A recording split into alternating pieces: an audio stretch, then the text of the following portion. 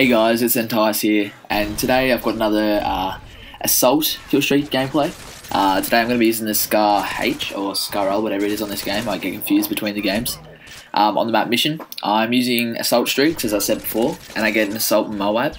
I go on, I think it's a 72 kill streak, and then I die because I idiotically call in a freaking Predator missile in the middle of the map. Now, um, the kids at the start were pretty laggy, so that did give us an advantage. But still, I think this gameplay is worth a watch. I think in total I went 87 and 3. Um, anyway, today I want to talk about a topic, and uh, that topic is Black Ops 3. Now, I haven't really seen much, I haven't been watching much, but I know the trailer came out the other day and it looks pretty good.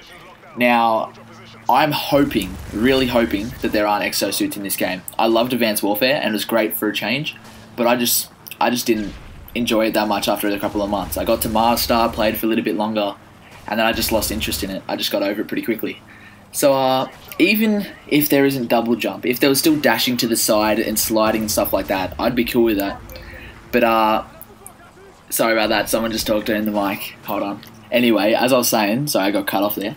Um, even if there was like dashing to the side and sliding and all that kind of stuff, and the exo abilities like cloak and everything, I'd still be cool with that. It's just the double jump. Like, it's like the gameplay was faster but slower at the same time. It's like everyone was moving around more and there was less camping. Yeah, it just felt like the maps were too big and there was just too many different like levels of the map that you had to be careful for. There could be someone camping up top or sitting up top, or there could be someone laying down on the ground. And it was just really, really hard to get like good gameplays and everything. So, uh, yeah, those are my views on Black Ops 3. I think it'll be a pretty decent game. Either way, I'll get it and I'll play it. I'm a COD fanboy. That's the way it is. But uh, if you did enjoy today's gameplay and today's commentary, uh, please remember to like and subscribe. And also leave your comments in the uh, comment section below saying what your thoughts are on Black Ops 3 and what you want to be in it. Cool. Catch you later.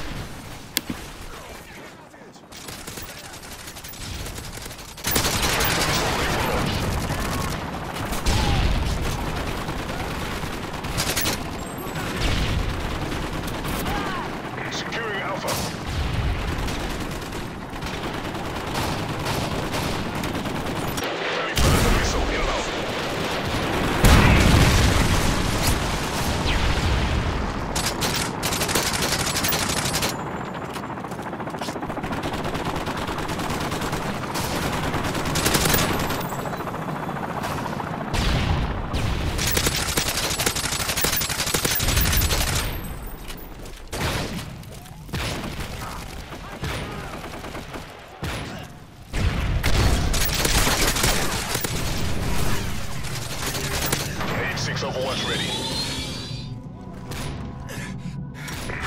AH-6 Overwatch inbound.